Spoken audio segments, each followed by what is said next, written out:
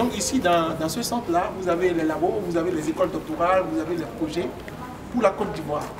Et donc, euh, CERCO fait partie quand même des, écoles pionnières à être, à intégrées ici. Et donc, on a installé un atelier de fabrication.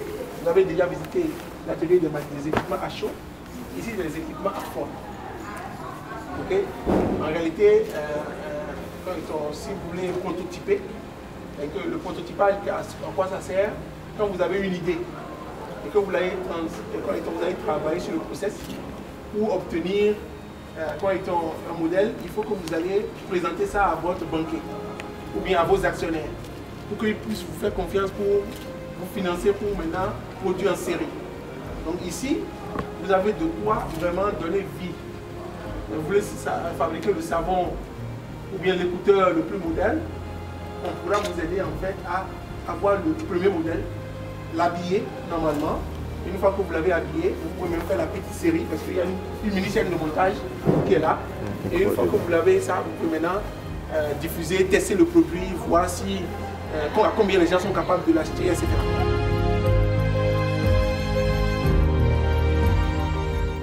donc, euh, de fabrication, vous avez le centre d'incubation.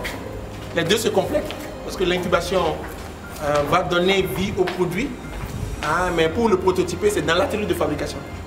Donc euh, dans l'incubation, ça va être plutôt veiller sur les process, le marketing, tester le produit, l'accompagnement en financement, etc. Donc vraiment euh, aider le jeune à pouvoir avoir une idée réelle donc, de, son, projet. Donc,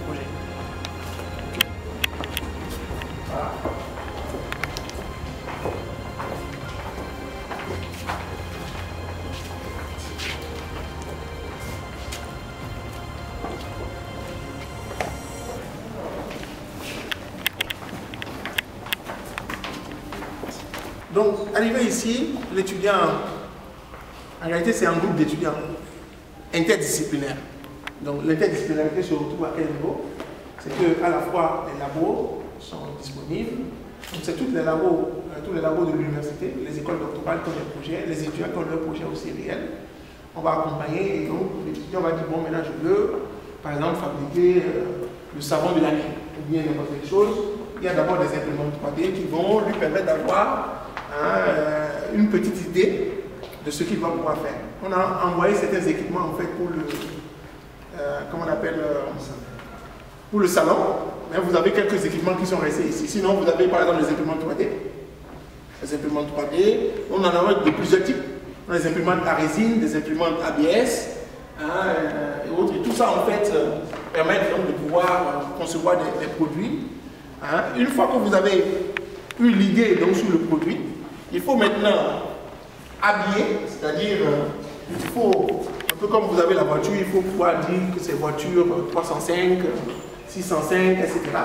Donc le découpe vinyle, ok, va permettre, hein, tu peux faire un exemple là ou pas, chef?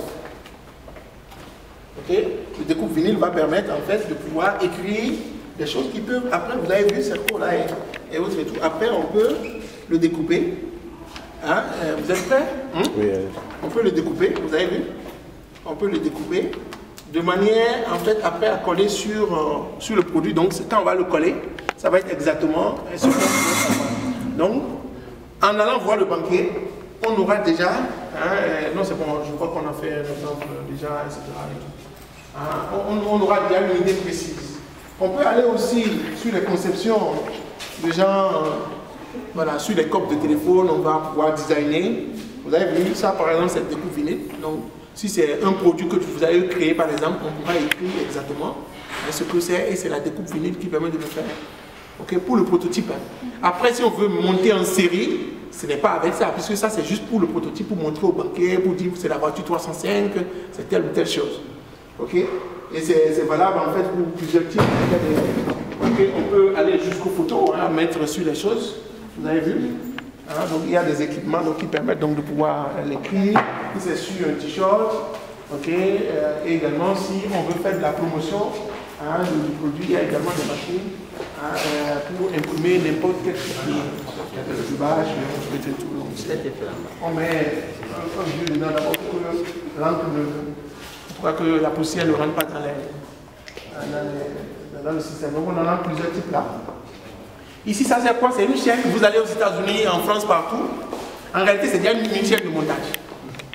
Ok? C'est-à-dire euh, pour monter un ordinateur, pour monter tout équipement électronique. Dans le monde, ok? C'est des tables comme ça. Ok? Après, derrière, qu'est-ce qui se passe? Vous avez la possibilité d'intégrer directement un ordinateur, de, quand c'est une visseuse automatique. Donc, vous pouvez placer exactement à l'endroit où vous voulez.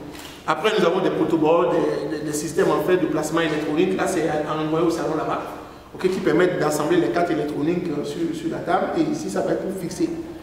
Et euh, c'est pour faire la petite série. Donc, par exemple, si je dois aller montrer à mes banquiers, mes actionnaires, je vais avoir 5 exemplaires, 10 exemplaires que je vais pouvoir faire pour pouvoir envoyer à, euh, envoyer, à ces actionnaires-là. Ça permet de montrer et de susciter l'adhésion donc déjà. Alors, quels sont quelques produits, en fait, je vais vous montrer quelques produits qu'on a déjà incubés qui sont aboutis. Alors, vous avez déjà eu l'opportunité de voir ça là-bas. Ok Ça, c'est une idée qui est partie de, quoi? C'est que les étudiants, euh, nous avons observé que les multiprises, on en achète tous les jours. Qui coûtent 3 000, 5 000. Vous utilisez ça pendant 6 mois, c'est foutu. Hein, et si comme nous, on importe beaucoup de, du milieu américain, etc. Et tout, on n'a pas les trucs à trois têtes, pendant que ici c'est à...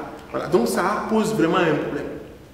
Donc, on a travaillé sur des multiprises personnalités. Donc vous avez vu déjà quand vous voulez offrir une multiprise à quelqu'un, c'est une entreprise par exemple, on peut mettre Cerco.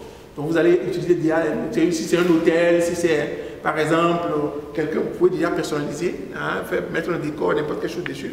Et puis ça peut être utilisé pour l'ensemble des, quand ils ont des nationalités, des pays, etc. Et il y en a même où on a intégré de l'USB. Il y en a d'autres. Là, vous là, c'est contrôlable à distance avec mon téléphone. malheureusement, avec mon téléphone, ok, je peux, non c'est bon déjà, avec mon téléphone, je peux contrôler à distance ce qui se passe parce que ça a, un, ça a des capteurs, c'est un système en fait euh, hein, pour le contrôler à distance. Et vous avez ça un USB, donc je peux allumer à distance d'ici je peux allumer quelque chose de chez moi. Donc c'est vraiment les objets connectés, les objets communicants, on est vraiment dans cette tendance-là. Mais l'idée autour, c'est qu'on part de, du vous faites de donc de l'analogie. Là, c'est un canal, ok? Mais de ce canal-là, on peut arriver à des multiprises. Donc on a un objet qui est décoratif, mais qui est utile parce que c'est une multiprise, hein, et je peux l'utiliser simplement. Sinon, les gens en Afrique, quand ils arrivent pour acheter un objet, ils vont juste l'acheter, le placer là, et puis bon, on ne sait pas trop à quoi ça sert désormais, ils ont une multiprise, mais en même temps euh, décoratif. Ici, ça n'a l'air de bien, c'est sur la table, mais en réalité, c'est une caméra qui est intégrée, avec reconnaissance faciale. Donc, l'idée c'est que les objets d'art que nous avons en Afrique, on en a plein, qu'on achète, les gens achètent. Vous avez vu, c'est tout petit là. Ok euh, C'est même pas, si on ne vous dit pas, vous n'allez pas savoir. Imaginez par exemple que vous ayez votre bureau, votre maison, et que vos enfants sont jeunes, vous autorisez pas, si quelqu'un vient en intrusion, vous avez une alerte directement sur votre téléphone. Donc voilà un peu donc, quelques exemples en fait de, produits hein, que nous avions fait, hein, qui, euh, pour la première phase de l'incubation. L'ambition que nous avons, c'est d'inviter les jeunes à se faire confiance et on ne va pas leur dire simplement d'initier un projet. C'est trop de l'imagination. Ici, on va être dans la logique on dit, tu as une bonne idée, c'est vrai, on va t'accompagner et tu vas avoir le premier prototype, le premier exemplaire de ton projet, de ton produit. Et si tu vas chez le banquier, si tu vas chez l'actionnaire, si tu vas chez n'importe quelle personne, tu seras plus crédible. Voilà donc euh, un peu ce qu'on fait. Et après ici, vous avez euh, les produits qui sont en distribution. Là, par exemple, on, travaille beaucoup plus sur le LED là en ce moment. par exemple, les multiprises, on est vraiment à la phase de lancement déjà. Hein. À la phase de lancement, on a travaillé sur le prix, euh, sur. Euh, euh, voilà, donc on est au packaging pour l'instant. Mais je crois que d'ici janvier, on va lancer ça sur le marché. Donc on travaille aussi sur les lampes LED. Donc c'est les lampes LED, parce que tout le monde a une lampe chez lui, tout le monde a une multiple chez lui. Donc c'est beaucoup plus des produits qui sont des produits qui peuvent être diffusés en quantité industrielle et que le citoyen lambda peut utiliser, hein, sur lesquels on travaille. Là, c'est le type de lampe. les lampes veilleuses, vous voyez, qui intègrent donc du open. Donc derrière, il y a des lampes. Il y a des lampes LED derrière et puis vous pouvez... Euh, donc ça, c'est les, groupes d'étudiants qui ont travaillé sur ça. Voilà, ici, comme vous l'avez voyez, c'est une manière toujours de donner vie au, projet. Hein, ce qui peut sortir, c'est open, c'est la même chose, mais bon, c'est l'un qui mange l'autre, l'autre qui mange l'autre. Euh, voilà. Donc, quand on voit à première vue, on se dit c'est quoi tout ça? D'abord, pour un atelier de fabrication dans le monde, le MIT a fait une liste. Et nous, on a, je pense, non seulement intégré tout ça, on a des machines actuellement en stock qu'on n'a même pas encore sorties parce qu'on attaque aussi toute la chaîne de bijouterie, de, joaillerie, etc. Donc, en dehors de ce qui est pour le prototypage, euh, nous avons attaqué aussi euh, cette partie-là en fait de, la joaillerie parce qu'on a beaucoup d'objets ici, les colliers, et nous croyons beaucoup aux objets personnalisés. C'est-à-dire que demain, le collier de bijoux euh, en or que vous allez avoir, ça peut être à la photo de votre enfant, c'est pas jésus uniquement. Donc ça peut être hein, personnalisé. Donc nous sommes très heureux de, faire cette première expérience ici. Donc quand les jeunes arrivent, ils, ils peuvent être à la fois en incubation, et être en de fabrication, ou bien ils peuvent concevoir leurs produits chez eux et venir juste en fait pour le prototypage. Et dans le mois qu'on est en train de concevoir, ils vont avoir l'accompagnement à la fois des spécialistes, donc une entreprise par exemple comme Orange et d'autres qui euh, on, veut en fait venir prototyper pour une journée, ils peuvent euh, venir le faire. Maintenant, si le jeune n'a pas travaillé sur le modèle économique et il veut aller plus loin, il peut aller, euh, qu'on appelle en incubation. Donc, vous allez venir Bien, bonsoir. Euh, nous nous retrouvons ici à Bégerville, à l'annexe de l'Université Félix Houphouët-Boigny, au Centre de technologie, où nous euh, sommes effectivement à l'atelier de fabrication et aussi d'incubation euh, de la marque Open. Nous sommes avec le président du groupe Open, avec deux autres experts, M. Akimachou et puis M. Théolam. Et nous avons effectivement visité le parcours ici.